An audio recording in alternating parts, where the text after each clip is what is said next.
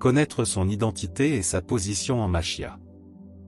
Première partie, l'identité de l'être humain en Yehoshua Machia. Chapitre 2 La famille d'Élohim. Grand 1 Les enfants d'Élohim. Jacob, Jacques, chapitre 1, verset 18. Parce qu'il l'a voulu, il nous a engendrés par la parole de vérité afin que nous soyons en quelque sorte l'offrande du premier fruit de ses créatures. Dans les Écritures, plusieurs termes hébreux et grecs sont traduits par fils et fille, tels que le terme grec technon qui est traduit par enfant et descendant. Ce terme fait référence à la relation intime et réciproque formée par les liens d'amour, d'amitié et de confiance entre les parents et leurs enfants. La racine de Technon est Timoria qui veut dire secours, assistance, vengeance, punition, châtiment et peine. L'hébreu ben traduit par fils, enfant, membre d'un groupe, a pour racine bana qui signifie bâtir, établir, assurer une suite, former. Cela signifie qu'en tant que fils et filles d'Élohim, nous sommes établis, bâtis par le Seigneur, car c'est le Père céleste qui forme ses enfants comme il a formé une femme pour Adam, Bereshit, Genèse, chapitre 2, verset 22. De cette nouvelle identité dont nous sommes désormais revêtus découlent de nombreux attributs dont nous devons prendre conscience. Ainsi il faut que nous réalisions que le Créateur est devenu notre Père et qu'en tant que Père nous devons l'honorer et garder son nom précieusement. Malachie, Malachie, chapitre 1, verset 6. Un fils honore son père, et un serviteur son seigneur. Si je suis père, où est l'honneur qui m'appartient? Et si je suis seigneur, où est la crainte qu'on a de moi, dit Yahweh Tsevaot, à vous prêtres, qui méprisez mon nom, et qui dites, en quoi avons-nous méprisé ton nom? Et qu'en tant qu'enfants d'Élohim nous bénéficions de droits et de devoirs. Grand A. Le père et la mère des chrétiens nés de nouveau. À la nouvelle naissance, les chrétiens reçoivent une nouvelle identité. Or lorsqu'on parle de naissance, il est primordial d'évoquer les parents qui engendrent. En effet, les chrétiens ont un père et une mère. Nous le comprenons notamment à la lecture de Galates, chapitre 4, versets 22 à 31. En effet, ce passage est riche en allégories concernant la paternité de Yehoshua Machia et la maternité de la nouvelle Jérusalem car il est écrit qu'Abraham eut deux fils, un de l'esclave, et un de la femme libre. Mais celui de l'esclave fut engendré en effet selon la chair, et celui de la femme libre en vertu de la promesse. Ces choses sont allégoriques, car ce sont les deux alliances. En effet, l'une du mont Sinaï, qui engendre pour l'esclavage, c'est Agar. Car Agar est la montagne de Sinaï en Arabie, et correspondant à la Jérusalem d'à présent. Or elle est esclave avec ses enfants. Mais la Jérusalem d'en haut est la femme libre, et c'est notre mère à nous tous. Car il est écrit, Réjouis-toi, stérile, toi qui n'enfantes pas. Éclate et pousse des cris, toi qui n'as pas éprouvé les douleurs de l'enfantement. Car les enfants de la délaissée seront plus nombreux que les enfants de celle qui était mariée. Or pour nous, frères, nous sommes enfants de la promesse comme Yitzhak. Mais de même qu'alors celui qui avait été engendré selon la chair persécutait celui qui était selon l'esprit, il en est de même maintenant. Mais que dit l'Écriture? Chasse l'esclave et son fils, car le fils de l'esclave n'héritera jamais avec le fils de la femme libre. C'est pourquoi, frères, nous ne sommes pas enfants de l'esclave, mais de la femme libre. Abraham, époux de Sarah et père de Yitzhak. En tant qu'époux de Sarah, il est un type de Yahweh, l'époux de la nouvelle Jérusalem, Yeshaya, Ésaïe, chapitre 54, versets 1 à 10, ou Yehoshua Machia, l'époux de cette même ville, Apocalypsis, Apocalypse, chapitre 21, versets 1 à 10. En tant que père de Yitzhak et père de la foi, Abraham préfigure le Père céleste ou encore Yehoshua Machia. Sarah, épouse d'Abraham et mère de Yitzhak. En tant qu'épouse du Père de la foi et mère de Yitzhak, née en vertu de la promesse d'Élohim, elle préfigure la nouvelle Jérusalem, la femme libre et la mère de tous les chrétiens, c'est-à-dire de tous les enfants libres, nés selon l'Esprit, Yeshaya, Ésaïe, chapitre 54, versets 1 à 10, Galates, chapitre 4, verset 22, chapitre 4, versets 26 et 31. Elle représente également la nouvelle alliance, Galates, chapitre 4, versets 24 à 26. Agar, esclave de Sarah et concubine d'Abraham. Elle préfigure la Jérusalem d'en bas, la femme esclave, la montagne de Sinaï, Galates, chapitre 4, versets 24 à 25. Elle est l'image de l'Israël actuel qui est comparé à Sodome et à l'Égypte, Apocalypse, Apocalypse, chapitre 11, verset 8, et à une femme adultère, Yeskel, Ézéchiel, chapitre 16, dont les enfants sont encore dans la servitude. Yitzhak, fils d'Abraham et Sarah. En tant qu'enfant de la promesse, il est la préfiguration de tous les chrétiens qui sont fils et filles d'Élohim, Galates, chapitre 4, verset 6, chapitre 4, versets 22 et 28, Yohanan, Jean, chapitre 1, verset 12, Romains, chapitre 8, versets 16 à 17. 1. Le Père des chrétiens. Éphésiens, chapitre 3, versets 14 à 15. À cause de cela, je fléchis les genoux devant le Père de notre Seigneur Yehoshua Amashia, de qui toute la famille dans les cieux et sur la terre tire son nom. À travers ce passage, nous comprenons que le Père est la source de toutes choses. Il est la racine ou le fondement de la famille chrétienne. Or le Père céleste n'est nul autre que Yehoshua Machia lui-même. Alors que la paternité du Fils est l'objet de nombreuses controverses, la parole regorge d'exemples qui confirment que Yehoshua est bien le Père. Petit 1. Yehoshua, la lumière du monde. Bereshit, Genèse, chapitre 1, versets 1 à 5. Au commencement Elohim créa les cieux et la terre. La terre devint tohu et bohu. La ténèbre était sur les faces de l'abîme et l'esprit d'Elohim planait au-dessus des eaux. Elohim dit, que la lumière apparaisse. Et la lumière apparut. Elohim vit que la lumière était bonne, et Elohim sépara la lumière de la ténèbre. Elohim appela la lumière jour, et il appela la ténèbre nuit. Le soir vint, et le matin vint, un jour. De quelle lumière est-il question dans ce passage? Est-ce celle du soleil? Certainement pas, puisque les Écritures nous disent que, le grand luminaire pour gouverner le jour, fut créé le quatrième jour, Bereshit, Genèse, chapitre 1, versets 14 à 19. D'ailleurs, il n'est nullement question ici d'un acte créateur. En effet, Elohim dit, que la lumière apparaisse. Le verbe apparaître est à comprendre dans le sens de faire apparaître, ou encore rendre visible. La lumière qui paraît n'est autre que Yehoshua Machia lui-même qui intervient pour détruire les œuvres du diable. Ainsi, dès les premières lignes du livre de Bereshit, l'incarnation du Machia est annoncée. Yeshaya, Ésaïe, chapitre 9, verset 1. Le peuple qui marchait dans la ténèbre voit une grande lumière, et la lumière resplendit sur ceux qui habitaient la terre de l'ombre de la mort. Matthaios, Matthieu, chapitre 4, versets 12 à 16.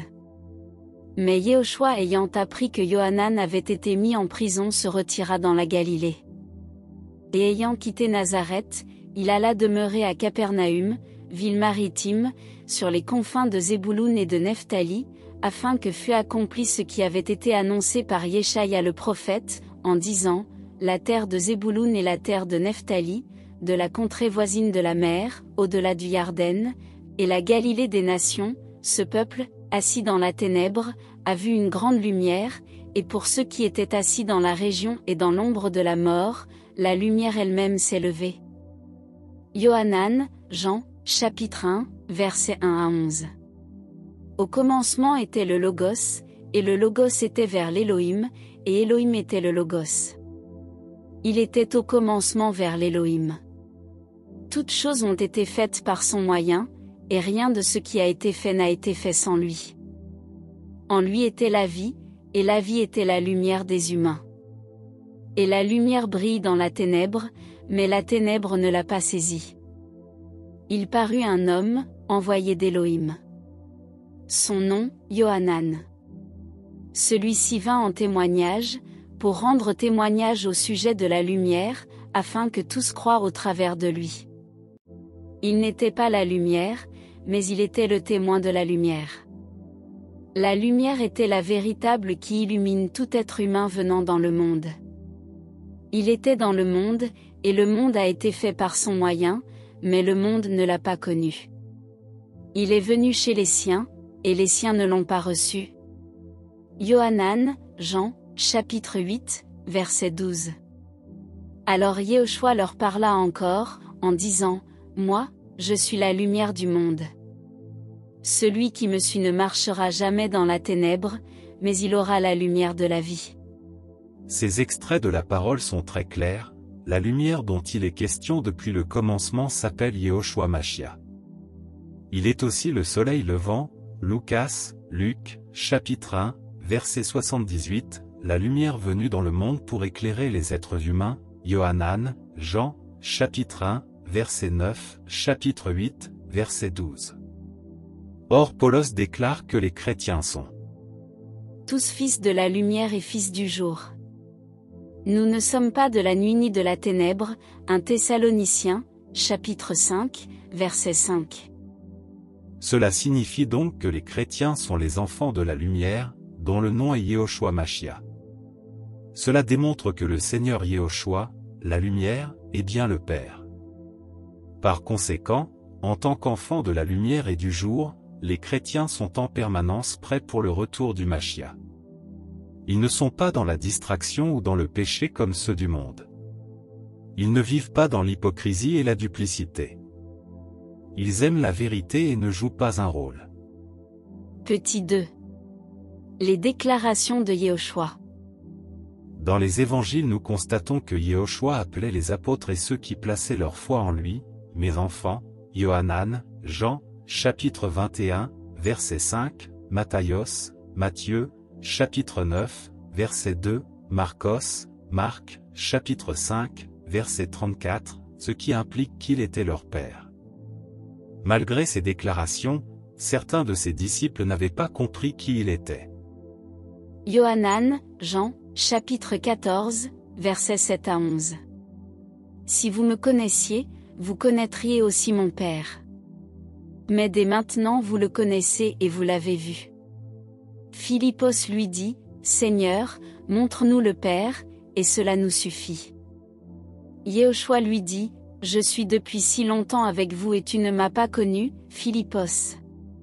Celui qui m'a vu a vu le Père. Et comment dis-tu, montre-nous le Père? Ne crois-tu pas que je suis dans le Père et que le Père est en moi? Les paroles que je vous dis, je ne les dis pas de moi-même, mais le Père qui demeure en moi est celui qui fait les œuvres.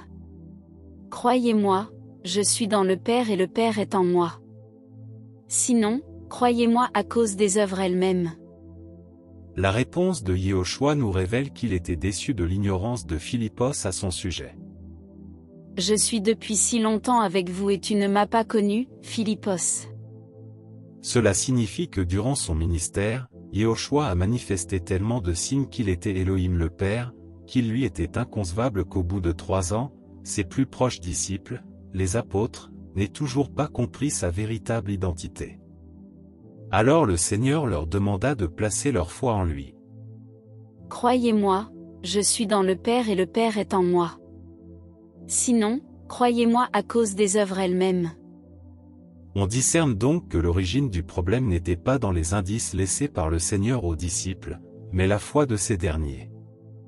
Ainsi la paternité de Yehoshua est si évidente qu'elle aurait dû être flagrante aux yeux des apôtres et de tous ceux qui le côtoyaient depuis tant d'années. C'est pourquoi, après sa résurrection, lorsqu'il leur ordonna d'aller faire de toutes les nations des disciples. Les baptisant dans le nom du Père et du Fils et du Saint-Esprit, Matthios, Matthieu, chapitre 28, verset 19. Les apôtres ne demandèrent pas quel était le nom d'Élohim, car ils le connaissaient. Or, Le seul nom qui nous ait été donné c'est celui de Yehoshua Machia. Acte, chapitre 4, verset 12. Et il n'y a de salut en aucun autre, car il n'y a sous le ciel aucun autre nom, donné aux humains, par lequel il nous faille être sauvés. Le nom du Père, du Fils et du Saint-Esprit est Yehoshua Machia. 2. La mère des chrétiens. Matthaios, Matthieu, chapitre 19, versets 4 à 6. Et il répondit et leur dit, N'avez-vous pas lu que celui qui les a fait dès le commencement, les a fait mâles et femelles, et qu'il a dit, À cause de cela l'homme quittera son père et sa mère et se joindra à sa femme, et les deux seront une seule chair? Ainsi ils ne sont plus deux, mais une seule chair. Que l'homme donc ne sépare pas ce qu'Élohim a mis ensemble sous un joug. À la lumière de ce passage, nous comprenons que la monogamie est la norme voulue par Elohim pour le mariage, et que la polygamie et la polyandrie ne font donc pas partie de ses plans. Il ne peut donc y avoir qu'un seul époux pour une femme. Or il est impensable que Yahweh, qui veille sur sa parole, ne s'applique pas cette règle à lui-même. Aussi, lorsque nous lisons Yeshaya, chapitre 54, versets 1 à 4, Jérusalem est comparé à une épouse délaissée et stérile dont l'époux n'est autre que Yahweh lui-même. Yeshaya, Ésaïe, chapitre 54, versets 5 à 8. Car ton Créateur est ton époux, Yahweh Tsevaot est son nom. Ton Rédempteur est le Saint d'Israël, il s'appelle l'Élohim de toute la terre. Car Yahweh t'appelle comme une femme abandonnée et à l'esprit affligé, comme une épouse de la jeunesse qui a été répudiée, dit ton Élohim. Un petit moment je t'avais abandonné, mais je te rassemblerai avec de grandes compassions. Dans un débordement de colère, je t'avais un moment caché mes faces, mais j'aurai compassion de toi avec une bonté éternelle, dit Yahweh, ton Rédempteur. De son côté, Yohanan nous dit que la nouvelle Jérusalem est aussi l'épouse de l'agneau, c'est-à-dire de Yehoshua Machia. Apocalypse Apocalypse, chapitre 21, versets 9 à 11. Et il vint à moi l'un des sept anges qui a les sept coupes remplies des sept derniers fléaux, et il me parla, disant, Viens et je te montrerai l'épouse de l'agneau, la femme. Et il me transporta en esprit sur une grande et haute montagne et il me montra la grande ville, la sainte Jérusalem, descendant du ciel d'auprès d'Élohim, ayant la gloire d'Élohim. Et son luminaire est semblable à une pierre très précieuse, comme à une pierre de jaspe transparente comme du cristal. Si Yehoshua n'est pas Yahweh, alors il pratiquerait la polyandrie, car il serait le coépoux de Jérusalem avec Yahweh, chose bien évidemment impensable. Galates, chapitre 4, verset 26. Mais la Jérusalem d'en haut est la femme libre, et c'est notre mère à nous tous. Si la nouvelle Jérusalem est notre mère et que son époux est Yahweh ou encore Yehoshua Machia, la conclusion est simple à faire. Yehoshua Machia, l'époux de la nouvelle Jérusalem est indiscutablement le Père, notre Père.